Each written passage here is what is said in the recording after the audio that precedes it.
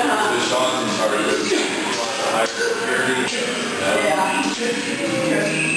My GM like it. Yeah. Like,